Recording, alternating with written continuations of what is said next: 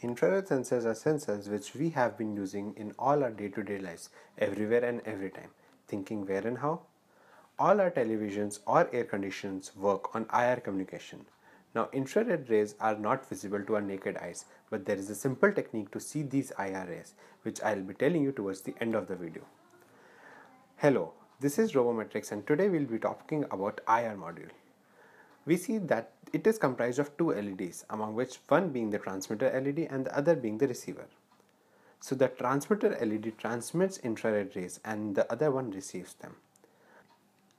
So these sensors don't actually detect the color, they have more to do with reflectivity. As we all have learned in our school times, the reflectivity of an object at a particular wavelength is what gives it color. So our sensor works on the principle of absorbing and reflecting light. Dark colors are those which absorb more light than light colors.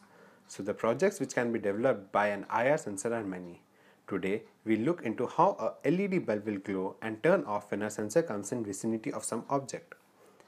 We will be needing a IR module, an Arduino and some jumper cables. The connections are pretty simple and can be looked up in the circuit diagram. The code is uploaded in the description of the video. Let's directly come, to the testing part. If the sensor detects any dark object, the LED doesn't glow. But when it comes in range with a white object, the LED starts glowing. You can very well see here when the sensor is against a black object, the LED is not glowing. But when it comes in range with white object, the LED starts glowing. Hope you got a basic idea of an infrared sensor. Stay tuned for more videos. Robomechtrix.